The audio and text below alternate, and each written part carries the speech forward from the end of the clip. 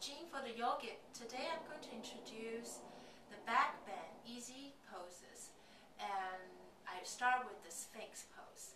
Okay, so come down with the to your belly and bring your palm in front of you, elbow directly underneath your shoulder.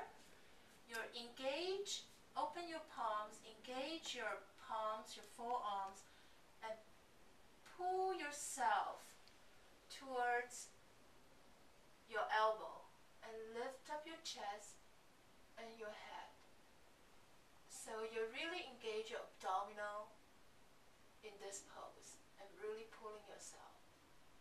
And that, that gives you a gentle back bend.